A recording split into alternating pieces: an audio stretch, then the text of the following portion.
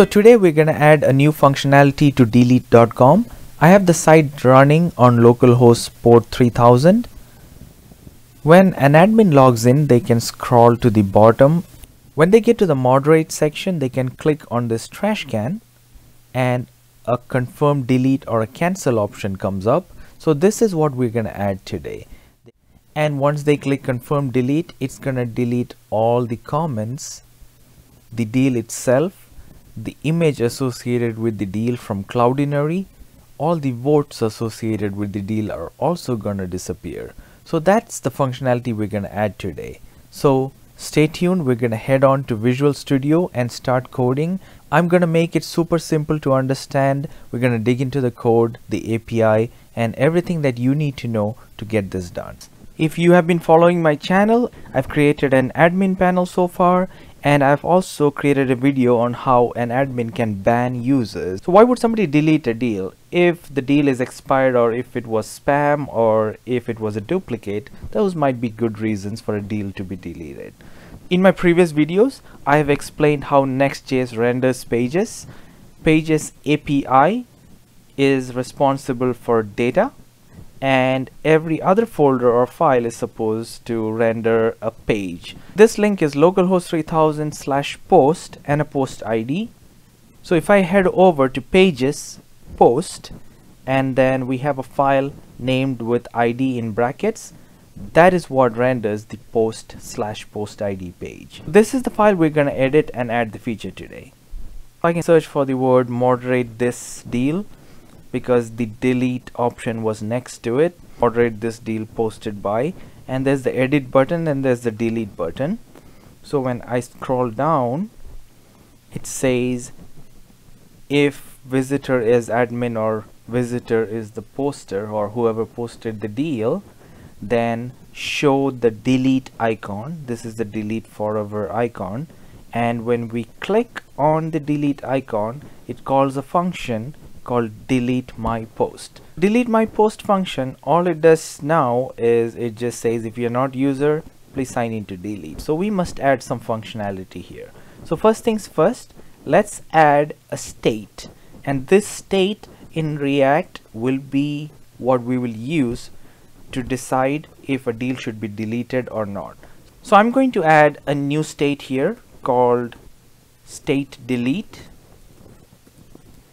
and the state delete will be set by a function called set state delete. And initially the state will be false because we do not want the deal to be deleted. So state delete is our state variable that we will be using and set state delete will be the function that will help us to set a state true or false to state delete. Initially it is false so let's use this. In delete my post function if it's not a user we're good to say please sign in. Else let's set state delete to not state delete which means it'll simply set the state opposite to the current state of state delete. So remember the state delete initially was false. When somebody clicks delete my post it'll just set it to true when they click it again it'll set it to false. So it is just gonna set it to the opposite of the current state. That's why we say set state delete of not state delete. Now how are we gonna use this? Let's head back to where we have the button. We do not want a user to accidentally click this button once and the deal gets deleted. Sometimes they might click this by accident. So what we must do is when they click here we should pop up a confirmation button or a cancel button. So let's do that. So under the button that's responsible to delete let's add a grid. Grid is a material UI component. So I'm adding a grid here container. And under the grid let's add a box. Box will help us set some margins. My equal to 3 will give a vertical margin of 3 and inside that let's add a button. So I'm gonna add a button. And the button is gonna be of color secondary. And on click the button is gonna call delete my post again. I'll explain why. And the button should say confirm delete so we now have a button that says confirm delete. We should also add one for cancelling the delete option. So let's do that. We add yet another button. Let's change the confirm delete to a color of error. And let's change this one to cancel. When I head over to the moderation section I see a cancel button and a confirm delete button let's change the variant to outlined. And I like the buttons smaller so I can put size equals small. This might look better in that area. So I changed the button sizes to small. Let's see this in action. Now they're so close to each other which is not preferable and looks like we have a typo here. That's the S that we can remove. There is something called button group that can be used. Let's head over to material UI site and search for it.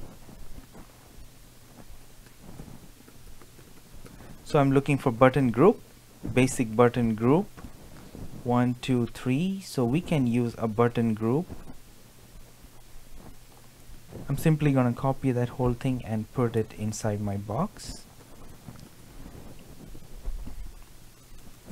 And now I can bring in my two buttons inside the button group. I might not have imported button group so it might error I have. So now that I added both my buttons under button group they look better they look like they're together. So let's add some margins. I'm gonna add a mx equal to 3 so that pushed the button to the right a little bit. And I think we should be using contained here as well. That makes it look slightly better. We should also add some icons for cancel and confirm. So material UI has the option for start icon. So for the first button I can say start icon is equal to so I'm adding an icon here. Start icon can be set to cancel outlined icon. It's basically an icon I imported from material UI so now we have an X next to cancel. And for the second button as well let's add an icon. So here I can add a start icon as well. So right now these buttons don't do anything other than call the delete my post function yet again but let's add some verbiage under it. For that I like to use typography and I'm going to use the variant caption because that's small letters. And inside the typography caption we're gonna say this action cannot be undone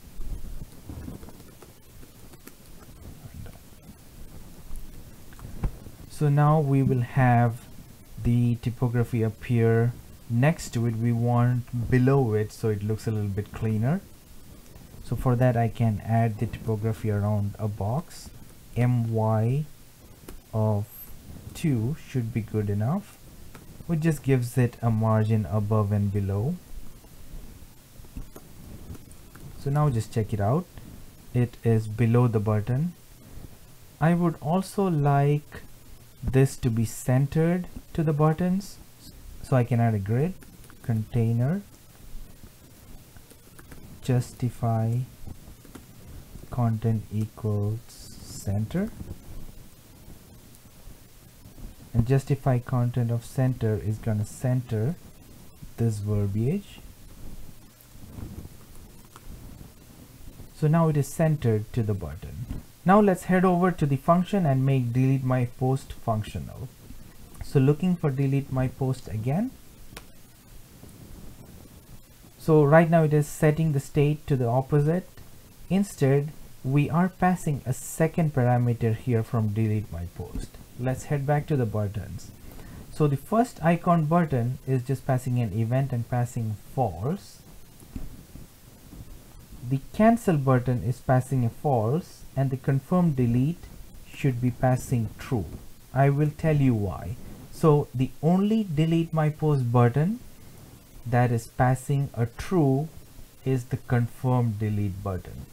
In our delete my post function we're going to use this second parameter called confirm. So if it's not a user sign in. Else we're setting the state of delete to the opposite of what it is now and here we can say if confirm. For now we can just display a message that says deleted. So we're gonna have to make an API call later which we will write inside this function to actually delete the post. But for now we're just gonna fake this and say deleted.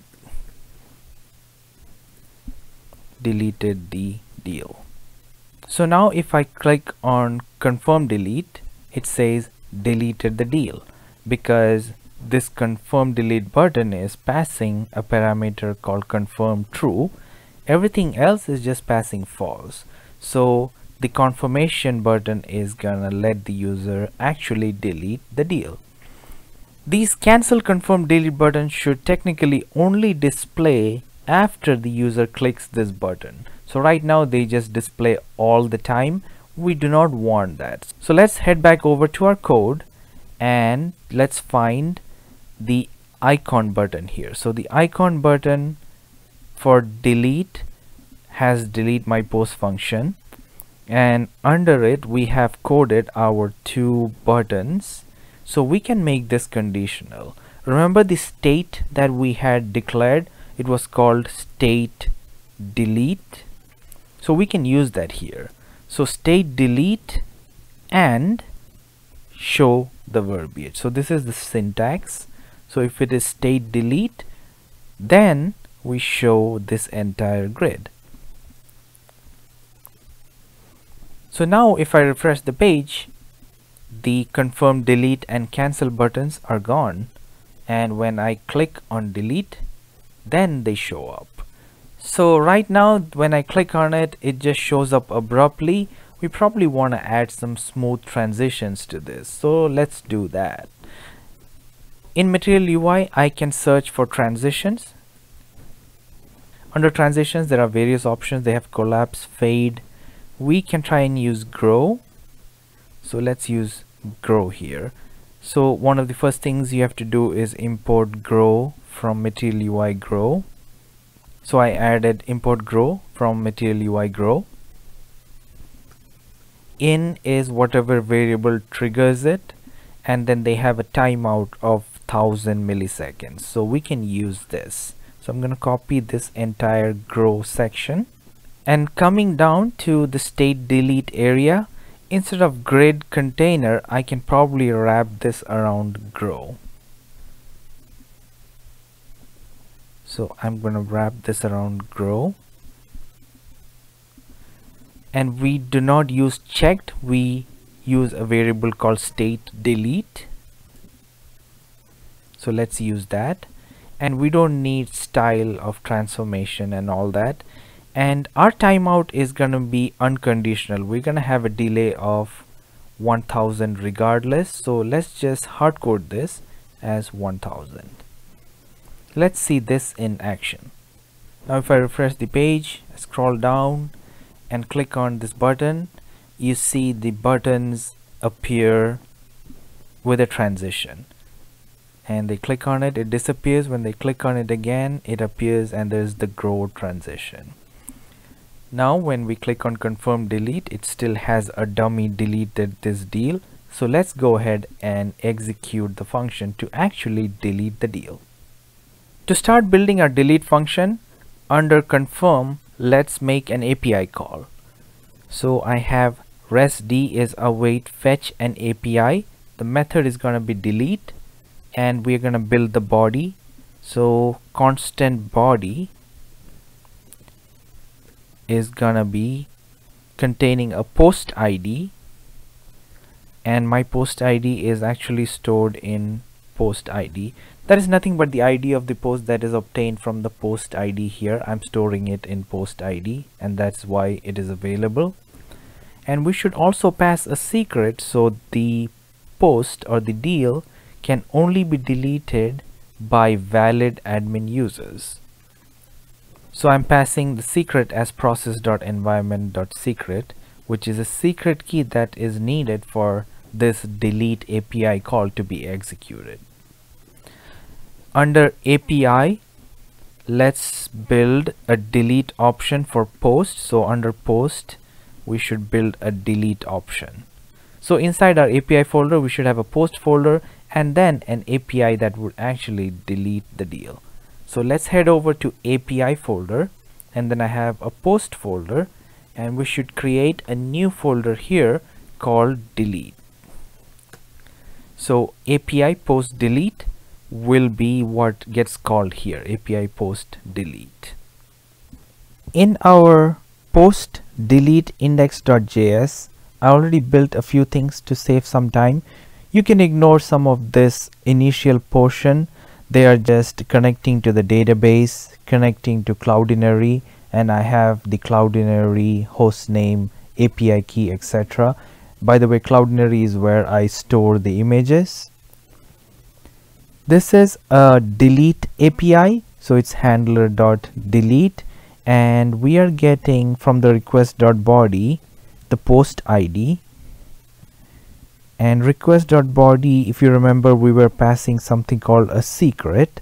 So the secret passed from the body should be equal to the process dot environment dot session secret. Otherwise we do not allow this deletion to happen. And then we're connecting to the database here. I have a few collections. One of the collections is the votes for each post. In this case there's one vote there's one upvote and that is what we're going to delete here. The vote post where post ID should be post ID let me show you the collection in MongoDB. So this is the votes post collection. As you can see the votes have an ID it has if it was up or down and then it has the post ID so all we need to do is delete all votes post that have the post ID that we are deleting. So that is what we're doing here. From votes post delete many post ID should be the post ID that we are passing. And likewise another collection I have is comments post. So posts have comments. So the same scenario there as well. I am deleting the comments from each post where the post ID is the post ID that we want to delete so I'll show you that in MongoDB Compass as well so this is comments post and I have post ID and we are required to delete all the posts comments all the comments of the post that have the post ID that we are deleting. So these two will take care of deleting the votes for the post and the comments for the post.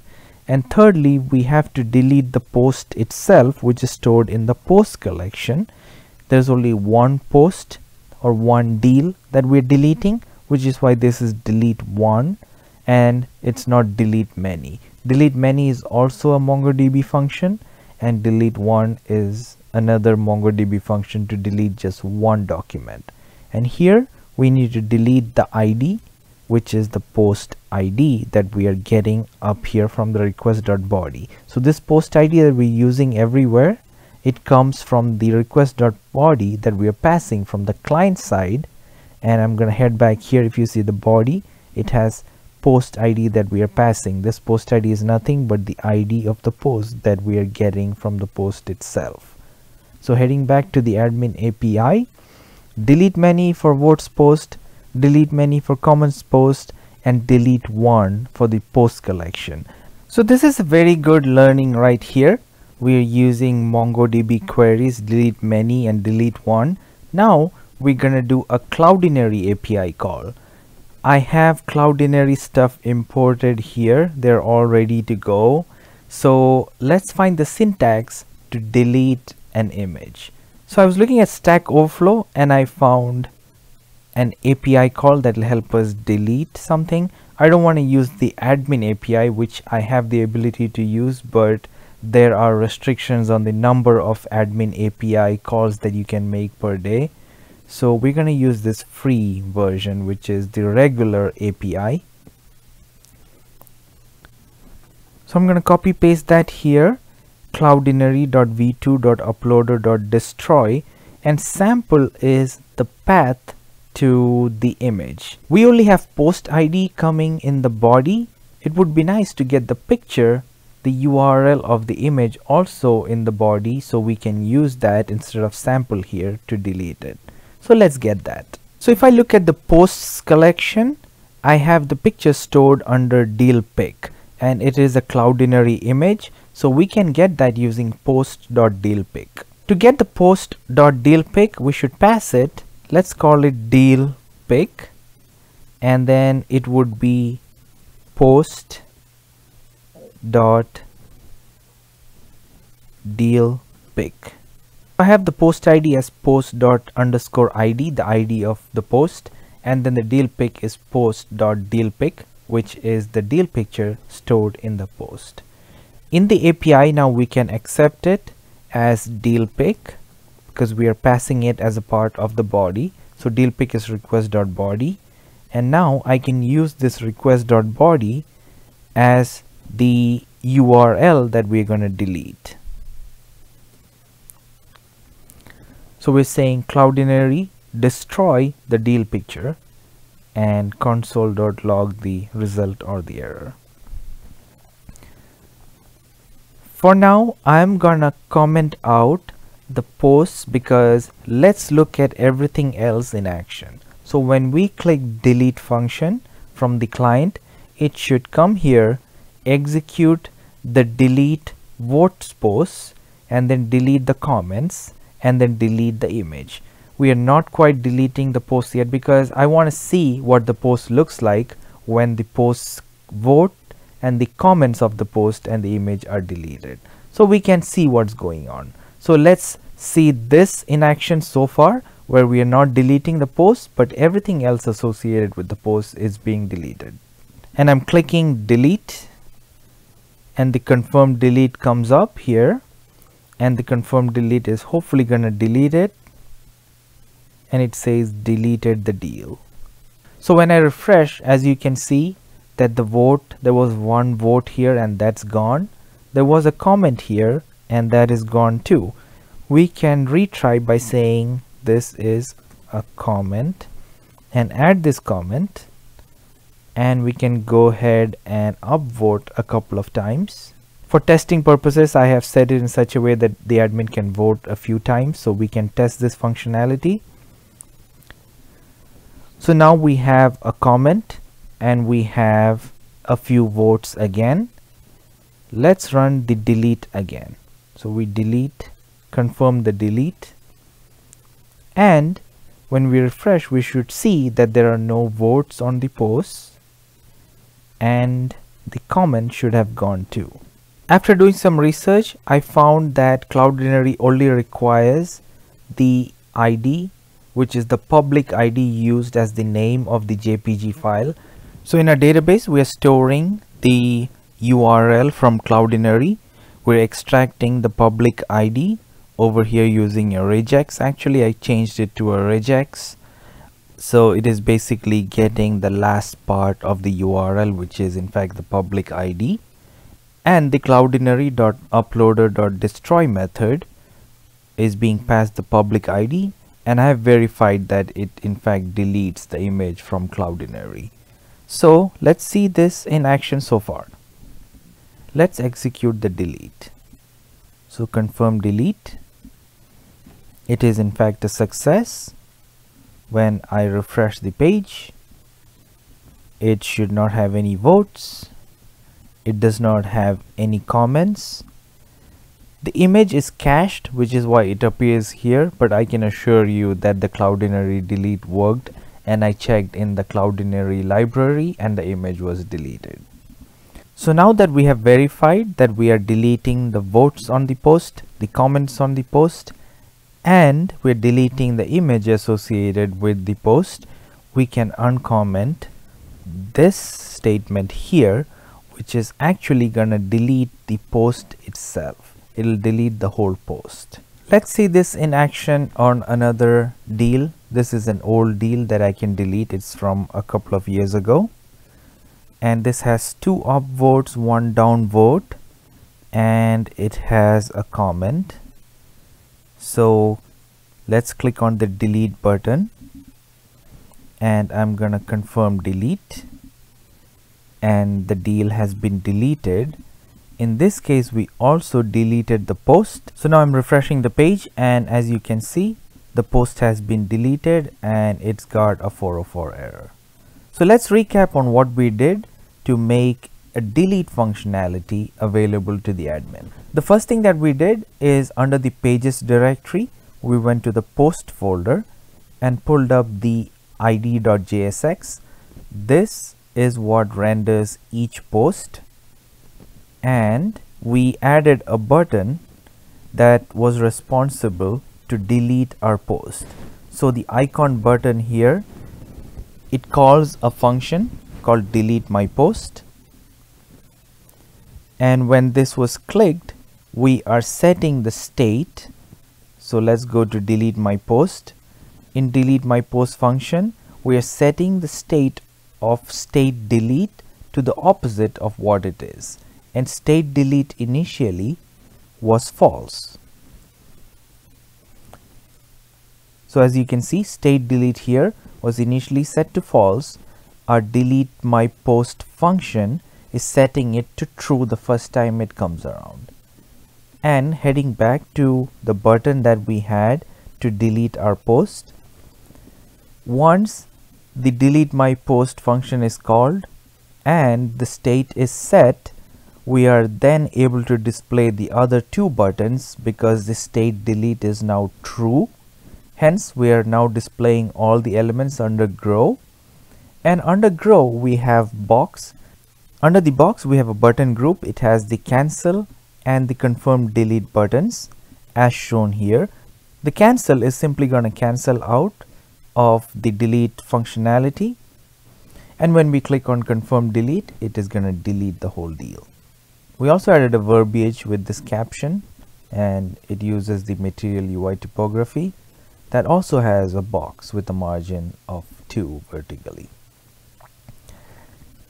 And when the delete my post function was called, we created a new API call. The API requires a body and the body is being passed the post ID, the picture of the deal so we can extract the public ID so we can use it in Cloudinary. We're passing a secret so only authorized users can request a delete. And then we are fetching the API and the API is post delete. It's a delete method and once the delete is complete we're saying the deal has been deleted.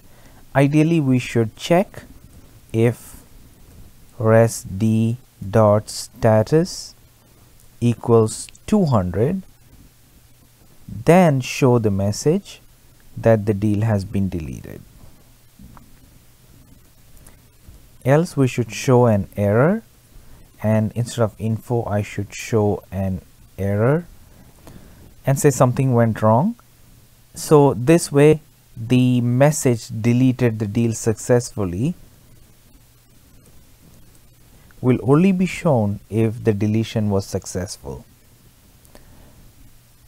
In our API, we are making four calls.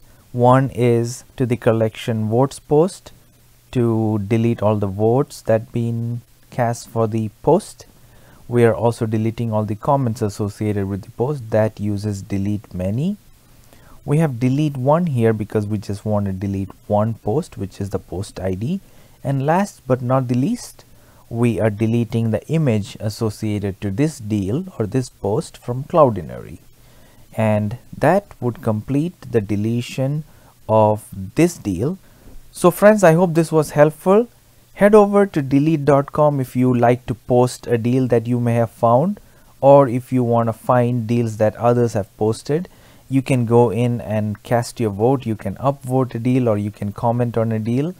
and if interested you can sign up it's real quick using your Google ID or your email and once you're signed up you can click on vote to vote on a deal or you can comment and join the conversation with all of us about different kinds of deals. So come on in and join us in the conversation and I hope you found great deals. But I hope this video was useful to you because I explained how we code APIs and how we make changes to the UI and more videos coming soon with more content on Next.js and React.js. If you like this video and if this was useful to you, please give me a thumbs up and I will be making more videos that will help you learn Next.js, React.js, MongoDB and Material UI. Take care. Cheers.